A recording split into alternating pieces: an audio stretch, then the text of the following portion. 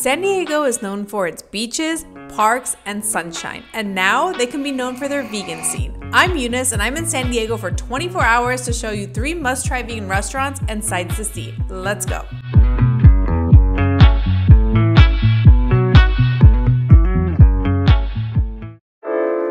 First up, I had to check out the spot that locals in San Diego have been raving about for years and hear about its backstory. Hi, my name is Roy Elam. I am the chef and owner of Donna Jean. We have locations in both San Diego and Los Angeles. We opened our San Diego location back in 2017. Uh, the name Donna Jean is my mom's name. I named it after her. Uh, she died of breast cancer when she was only 55 years old. Uh, the second time she was going to go through chemo, she didn't want to do it because it was too much, so they gave her a diet and, to follow instead, and it was primarily a vegan diet. So I started thinking, why do we tell people this at the end of their life? So we decided to take this restaurant and just make vegetables taste good so people want to eat them all the time. And that's the whole concept behind this. And on top of all that, we're very much fully scratch as much as possible. We make everything we can here. I feel like that's the right way to do things. We source local produce in both San Diego and Los Angeles and try to work with small producers as much as we can. Okay, so it's Sunday morning in San Diego, so it's brunch time and you gotta come to the one and only Donna Jean. It was actually one of the first places I tried vegan food when I was starting my vegan journeys. But the reason this place is so special is because where else can you get pizza, lasagna, calzones, frittatas, pancakes, the works, all the breakfast staples and like comfort foods in one spot. So it's a must try. So let's check out what they got.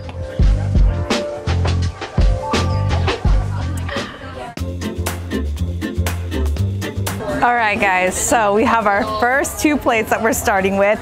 It's brunch. I always have to have something like eggy. So I have a frittata here with zoug sauce on top. Zoug is a green salsa that originates from Yemen, but it's also popular in a lot of other Middle Eastern countries. The frittata is made out of JUST Egg. If you're not vegan, JUST Egg is a really good replacement for eggs, especially if you miss that eggy texture because they make it spot on and it's just really good, no cholesterol, really healthy. It looks beautiful, looks delicious. They even have some shaved cheese on this salad that looks real, so it's amazing. And then I'm a sucker for mac and cheese. So when I saw they have a cast iron mac and cheese, you best believe I had to try that. When you scoop this up, it looks just so good and creamy. So I'm gonna give this a try first.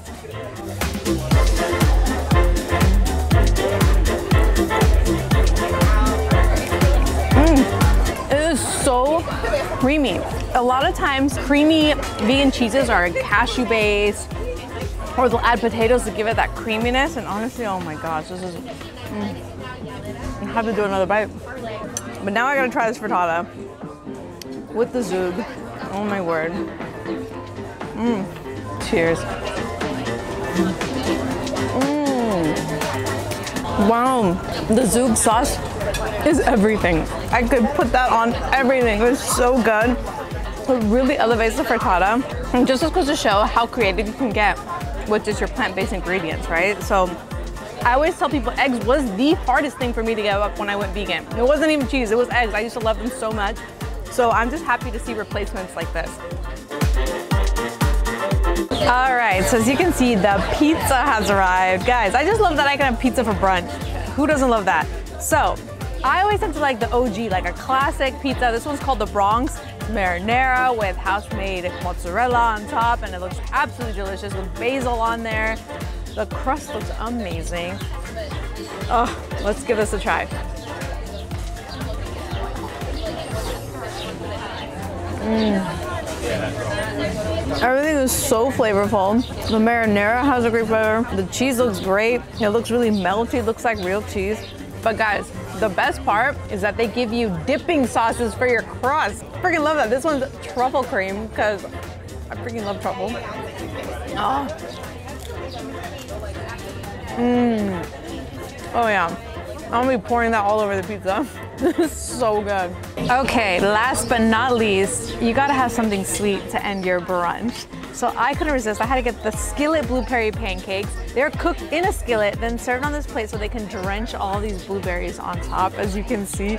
Oh, they just look so fluffy and amazing. So let's give it a try. I'm gonna just pack on a lot of blueberries.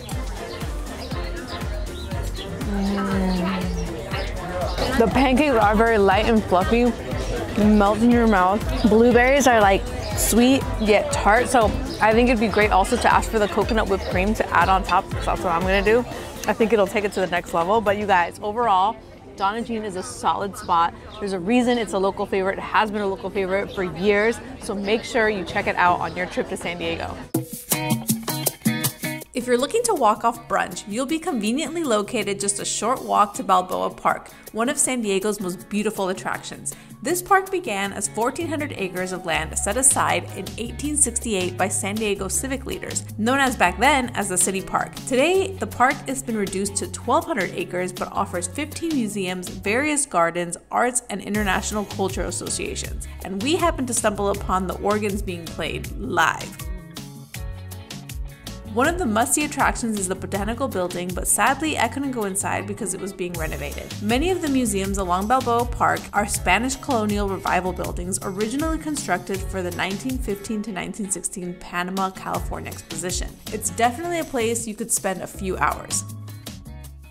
But after that break, it was time for lunch near downtown for vegan sushi experience.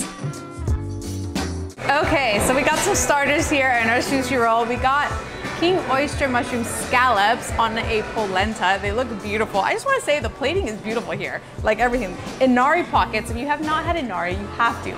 They are tofu skin pockets and they're usually stuffed with a bunch of different things. So this looks absolutely delicious. Can't wait to try that. And then of course, this is a specialty roll called the cherry blossom. Inside is tofu cutlets, pickled cucumber and carrots, a cherry yuzu aioli, which gives you that beautiful pink color, and crispy Fuji apples with a vegan cream cheese, so I can see why it's their specialty. It sounds really extra.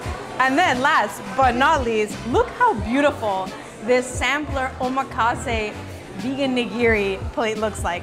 It's topped with veggies, so like you got bell peppers, zucchinis, eggplant, avocado, and it's chef's choice, right? That's what omakase means. So I really appreciate that they put a lot of effort into making these dishes look very presentable, use great ingredients that substitute fish, so let's give everything a try.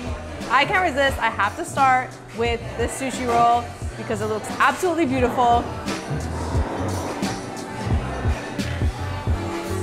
This is delicious. Reading off the menu, you might think, is it gonna taste sweet? Because that's what I thought.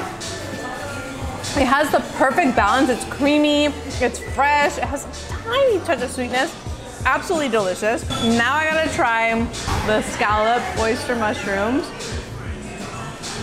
They serve it with polenta now, but they're gonna change it to squash because it might complement better is what they were saying. So let's try it this way anyway.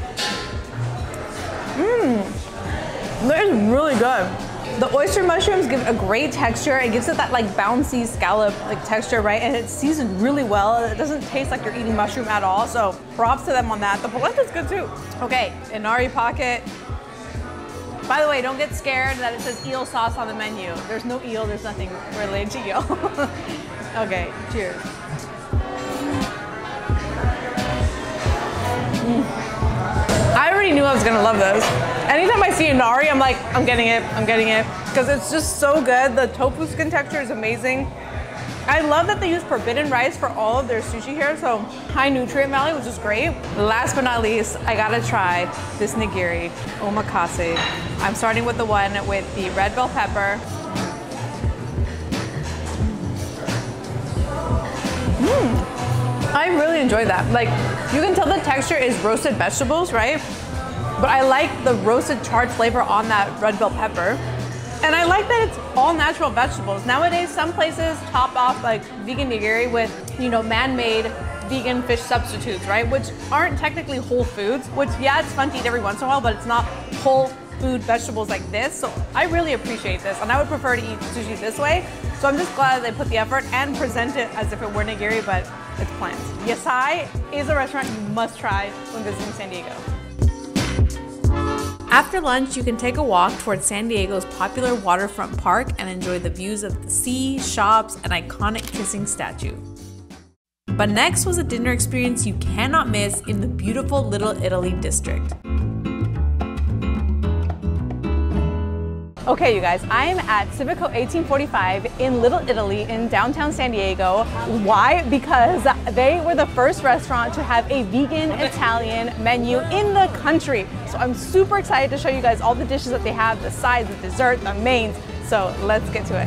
I've gotten all the sides that we ordered. I'm already beyond excited because they look beautiful. The caprese salad, the vegan mozzarella looks like real mozzarella. So this is just beautiful. The pesto is vegan for every customer, so that's amazing. The squash blossom flowers with tomato sauce, and the lasagna, which is an eggplant parmesan that looks like a lasagna. So you guys, but first, you guys, the star is this fluffy bread that they bring to you in a paper bag, which is perfect for dunking into pesto. I love carbs, I love bread, so let's start with this.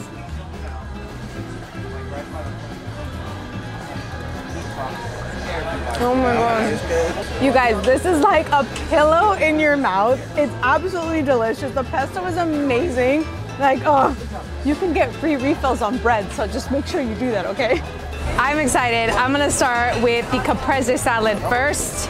Oh my gosh, it looks so fresh on this beautiful sunny day. By the way, if you haven't noticed, they have a beautiful outdoor patio and indoor space. The caprese comes with pesto and fresh tomatoes and beautiful flowers. Okay, let's try this.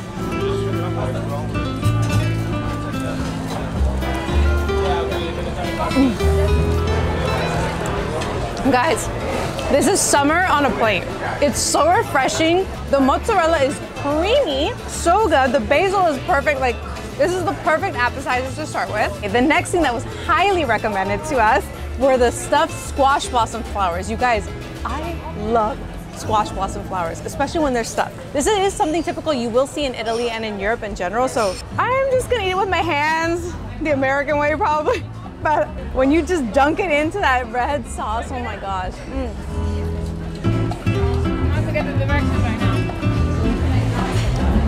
Wow. These are stuffed to perfection. It's almost like an eggplant puree. It's so flavorful. So far, everything's 10 out of 10. I don't know if you can go wrong here. The entrees have arrived. Handmade pasta. So this first dish is the ragu di funghi, which is handmade fettuccine noodles with a ragu, walnuts, lots of mushrooms. I love mushrooms, so if you're a mushroom fan, you gotta try this. And then we also got a lasagna staple. Can't go wrong with that. But let me try this fettuccine. Mm. Oh, love me a good noodle lift. Mm.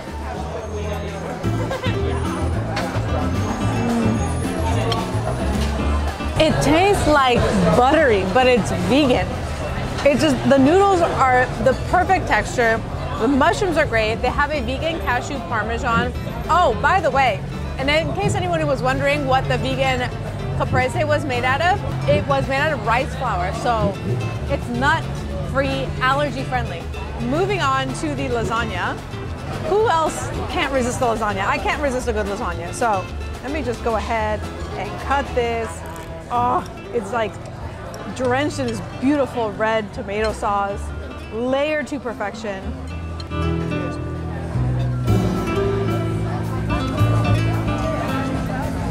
Listen, if you haven't noticed, I've been making the same face for all the food because it's that good. Everything is delicious. I just love that they make their own vegan pasta. You don't gotta worry about eggs.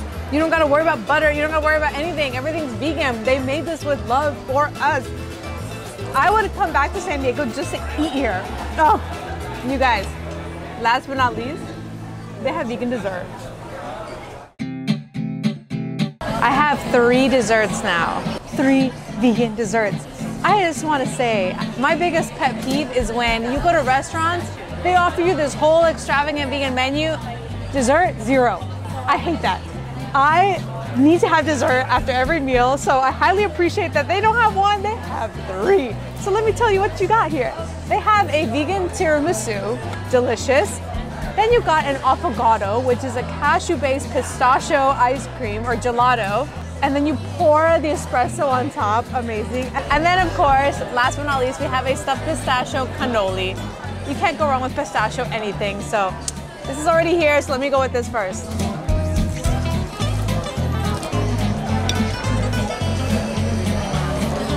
Mm. It's stuffed with chocolate filling. It's airy and light inside, but the shell is crispy and beautiful. Okay, but I am a huge fan of tiramisu, so I gotta have this next. Oh, oh my gosh.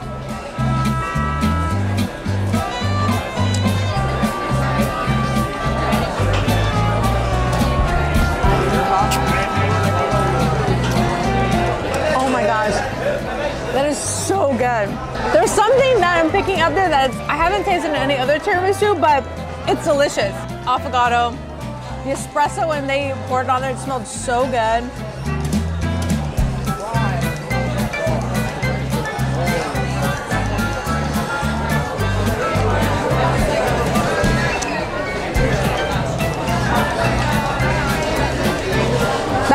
Ice cream is amazing. You guys, I've already said this multiple times before. 10 out of 10. Like, you can't go wrong with anything. I highly recommend the affogato and the tiramisu for sure. Make sure you make room for Civico 1845 on your trip to San Diego. Now, I don't know about you, but I like to party, and San Diego's Gaslamp District has you covered. It has a hot new rooftop bar called Techo Beso with Tulum vibes that I couldn't resist. They also have mushroom tacos if you decide you want food there, and don't forget to take some photos. All right, guys, so as you can see, San Diego has so much to offer. It's just beautiful, it's a cute city, there's a lot of character, a lot of things to do, lots of vegan food. There's even more than I featured, but I mean, you guys can check it out for yourselves. Let me know which dish you would want to try first. If you want to see more travel videos, you can check them out here. And if you like this video, make sure to hit the like button, subscribe, and I'll catch you guys next time on Rated V. Bye.